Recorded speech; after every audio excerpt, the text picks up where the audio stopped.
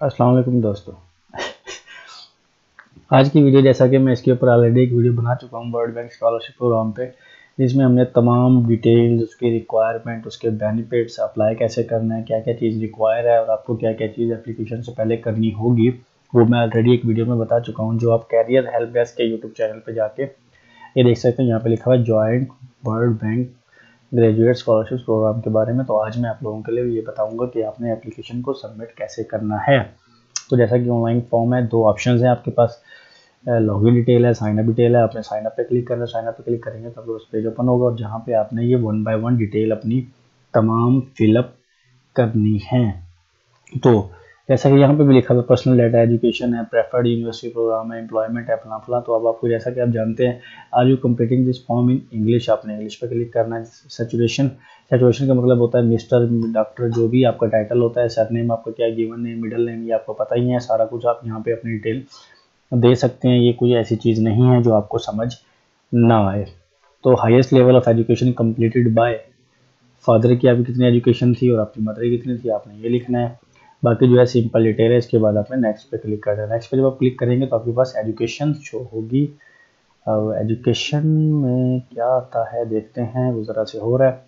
Education have you either earned at least one bachelor degree or completed degree and then took at least three full time equivalent year जैसे मैं बता चुका था कि इसके लिए एक्सपीरियंस मस्ट था। तो अगर आपके पास एक्सपीरियंस है तो आपने यस करना है। अगर नहीं है तो आपने नो करना है। अगर आप यस पे क्लिक करेंगे तो यहाँ पे वो आपसे इंस्टीट्यूशन पूछेगा कंट्री पूछेगा डिग्री प्रोग्राम नेम पूछेगा, क्या थी आपकी एंटर है total number of full time equivalent years कि आपने कितना वहाँ पे काम किया, ये डिप्लोमा वाज इशूड कब आपका इशू किया गया लिस्ट एंड एकेडमिक्स ऑनर और अवार्ड रिसीव आपने वो करना है। ये सिंपल चीज़ें हैं कुछ ज़्यादा मुश्किल नहीं है।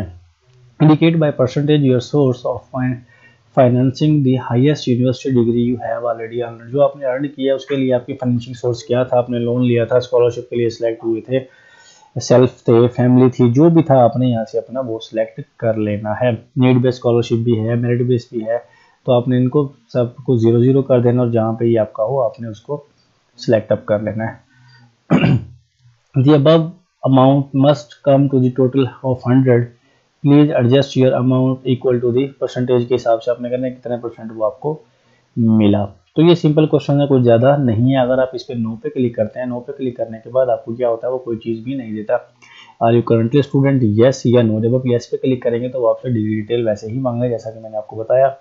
और ये आपने नो पे क्लिक कर देना। Non degree courses certificate training have you taken any other course training outside your country क्या आप कभी पहले कंट्री से आउटसाइड गए हैं? नहीं गए तो आपने नो पे क्लिक कर देना है। Japan financing have you received any funding from the फ्ला फ्ला स्कॉलरशिप एनी जो भी है, आपने इसको नो कर देना है कि आपने पहले कभी इससे लिया है या नहीं लिया। उसके बाद आपने क्या करना प्रेफर्ड यूनिवर्सिटीज मास्टर प्रोग्राम जब इस पर क्लिक करते हैं तो एक फॉर्म ओपन होगा।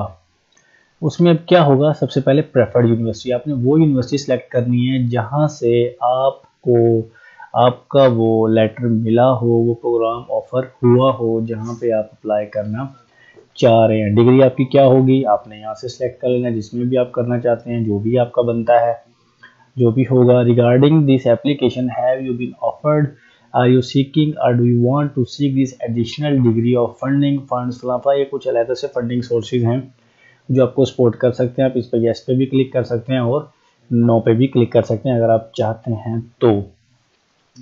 Fund is located, fund is located. Where are you married? आपने कहाँ पे जो है आई एम नॉट मैरिड, आपने सिंपल ये लिख देना है, नो कर देना है, यस पोसिशन जो भी आपका है, अपने यहाँ से सिंपल सेलेक्ट कर लेना है। इसके बाद आपने क्या करना है? एम्प्लॉयमेंट पे जाना है। जब आप एम्प्लॉयमेंट पे क्लिक करते हैं तो वो आपसे क्या पूछता है? आपकी डिटेल पूछता है which development topic most closely relate to your work experience to the date कौन सा टॉपिक था जिसने आपकी, जहाँ पे आपने अपनी जॉब की, जो सा भी सेक्टर था, आपने वो सिलेक्ट कर लेना है यहाँ से। वो करने के बाद number of years full time paid employment after earning आपने कितने ईयर जॉब की, आपने वो बताना है। करंट एम्प्लॉयमेंट अगर आप हैं तो ठीक है यस करना है, अगर नहीं है तो आपने नो कर देना। अगर यस करेंगे तो वो आपसे कुछ क्वेश्चन पूछेंगे is this work full time आपने यस पे क्लिक करना है नो पे क्लिक करना है, जो भी होगा आपने बताना है। Employment history name of the organization that you employed you जिधर भी थे, आपने वो बताना है, आपका डिपार्टमेंट क्या था, वो सेक्टर कौन सा था गवर्नमेंट था बैंक था प्राइवेट था, आपने वो सिलेक्ट कर लेना लास्ट पोजीशन हेल्ड आपकी पोजीशन क्या थी? लास्ट जॉब पे कंट्री कौन सा था? कंट्री के बारे में बताना है स्टार्ट डेट क्या थी एंड डेट क्या थी was this job full time yes no आपने इस पर क्लिक करना है। अगर फुल टाइम थी पार्ट टाइम थी, जो भी थी। If you received a promotion from this employer please specify अगर आपको कोई प्रोफेशन मिली, कोई टाइटल मिला तो आपने यहाँ पे लिखना है। नेम ऑफ़ द ऑर्गेनाइजेशन ये सिंपल एम्प्लॉयमेंट है। वन टू थ्री या वन बाय वन इसको सेम ऐसे ही फिलअप करेंगे, जैसा कि मैंने वन के बारे में आपको बताया। इसके बाद आपने क्या क्लिक करना है? वॉलेंटियर कम्युनिटी इन्वॉल्वमेंट इसमें क्या है? ये देखते हैं।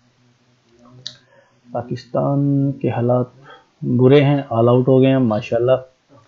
अच्छा जी अनपेड इंटर्नशिप वॉलेंट्री वर्क यहाँ पे क्या होता है, जहाँ पे आप एज अ वॉलेंटियर काम कर रहे हैं, जैसा कि आप सोसाइटीज़ में भी काम कर सकते हैं, या आपने कहीं पे इंटर्नशिप्स की होती हैं, जिसको आपको पेड नहीं मिल जाती।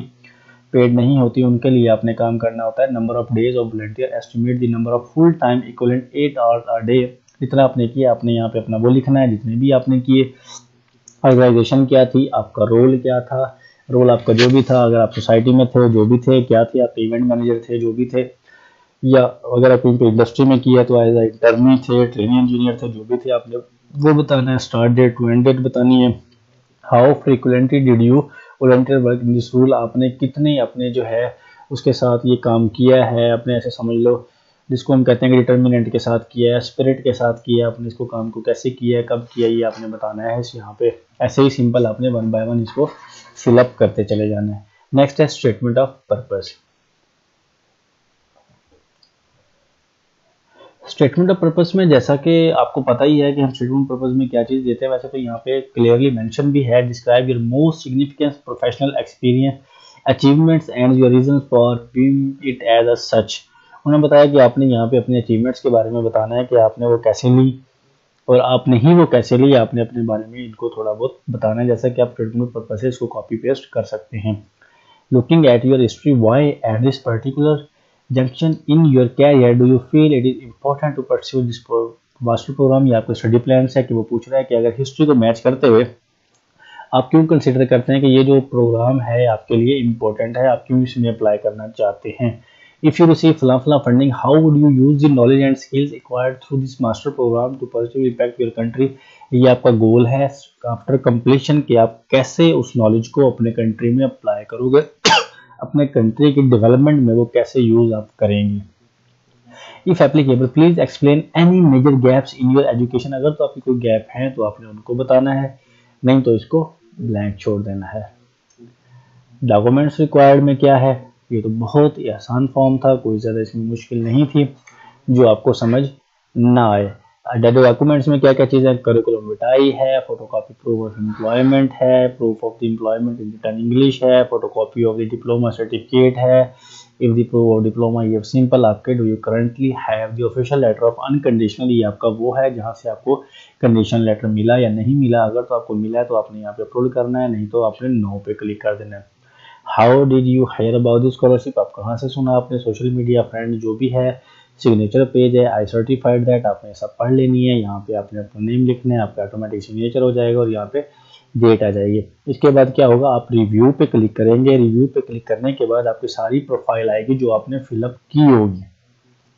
अगर कहीं पे कुछ मिसिंग होगा तो आप एडिट कर सकते हैं, वरना आपने इसको सबमिट कर देते हैं। तो यहाँ पे कोई कोई ज़्यादा इसमें प्रॉब्लम नहीं आई, लेकिन फिर भी मैं देखता हूँ क्योंकि लोग कमेंट्स आ रहे थे कि हमसे ये फिलअप नहीं हो रहा तो देखते हैं कि कहाँ पे कुछ प्रॉब्लम है। हम एजुकेशन में जाके देखते हैं, शायद वहाँ पे कुछ प्रॉब्लम्स हों जो मे बी हमें नज़र ना आई हूँ या स्टूडेंट्स फेस कर रहे हो। मैं देख लेता हूँ एक बार फिर से। तो आपने इसको क्या करना है? वन बाय वन फिलअप करना है।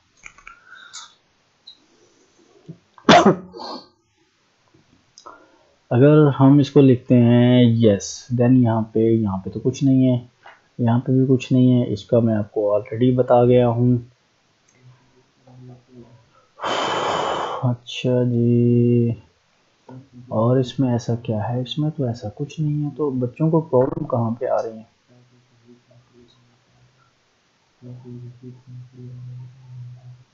यस पे क्लिक किया हमने। इंस्टीट्यूशन आया कंट्री आया डिग्री प्रोग्राम आया total number of full time post आया। यूनिवर्सिटी डिग्री हो गई, और डिप्लोमा बाद इशूड ये आ गया लिस्ट एकेडमिक आ गया। लेकिन यहाँ पे तो ऐसा कुछ नहीं है, लोगों को क्या परेशानी आ रही है? मुझे समझ नहीं आ रही। तो जी, ये था आपका सिंपल बहुत ही आसान सा फॉर्म जो आपने फिलअप करके सबमिट कर देना है। फिर भी अगर लोगों को अभी भी कुछ समझ नहीं आया या कोई ऐसे इश्यूज़ हैं अब अगर येस पे क्लिक करते हैं तो हम देखते हैं यहाँ पे क्या चीज़ है। यहाँ पे भी ऐसा कुछ नहीं है जो समझ ना आया हो। लेकिन फिर भी अनी हाउ अब जितना ये फॉर्म था मैंने डिस्कस कर लिया। अगर अभी भी लोगों को कुछ कन्फ्यूज़न है या कुछ समझ नहीं आ रही, हमने क्या लिखना है, क्या कुछ करना है तो वो मुझसे बाय कॉन्टैक्ट या मेरी इस वीडियो के एंड पे कमेंट करके मुझसे पूछ सकता है। अगर आप इसमें करने से पहले आपको नहीं पता तो आप हमारी पहले वाली वीडियो, ये वाली वीडियो देख लें। Joint bank Japan world scholarship graduate scholarship बहुत अच्छा स्कॉलरशिप है। दुनिया के किसी भी कोने में अप्लाई कर सकते हैं, काफ़ी सारे कंट्रीज़ हैं। और हमारे इस चैनल को सब्सक्राइब करना ना भूलें, ताकि हम ज़्यादा से ज़्यादा आप तक अपनी इंफॉर्मेशन के मुताबिक नॉलेज को शेयर कर सकें और आप बसानी अपनी एप्लीकेशंस को कंटिन्यू कर सकें। तो आज की वीडियो का मकसद जस्ट यही था कि हम आपको बताएँ कि आपने कैसे जापान वर्ल्ड बैंक स्कॉलरशिप में अप्लाई करना है। तो आज के लिए इतना ही। दुआओं में याद रखिएगा। अल्लाह हाफिज़।